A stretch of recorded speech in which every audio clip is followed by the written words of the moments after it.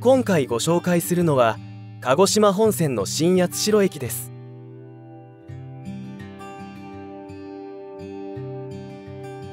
新八代駅は九州新幹線と在来線の鹿児島本線の2路線が乗り入れています。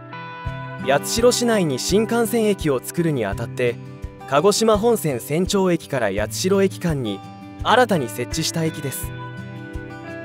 南口は新幹線と在来線につながる自由通路の連絡口で駐輪場があるのみです。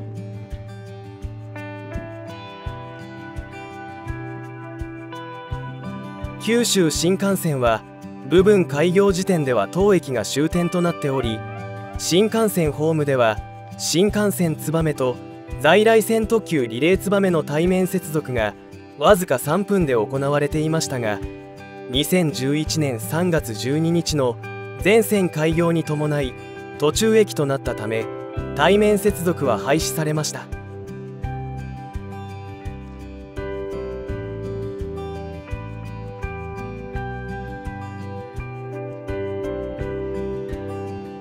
新幹線在来線ともに同一事業者でありながらそれぞれ別個の駅舎が設置され近接しているものの両線の乗り換え改札口は設置されていません。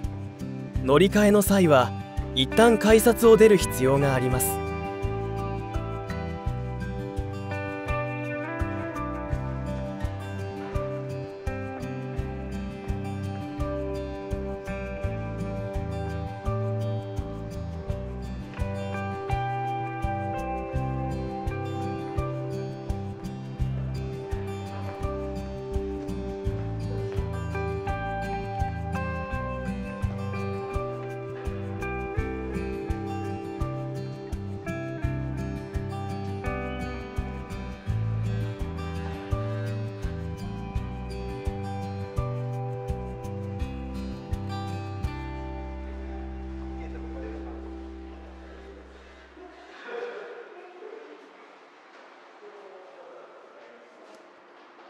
在来線駅は JR 九州サービスサポートによる業務委託駅で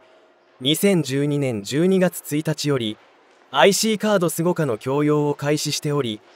IC カード専用簡易改札機を設置しています。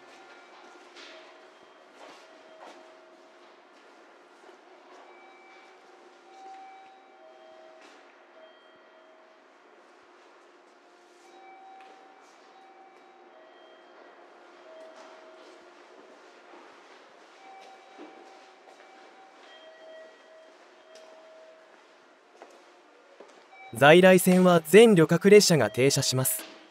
一部列車は八代駅から JR 九州肥薩線や肥薩オレンジ鉄道線に乗り入れています。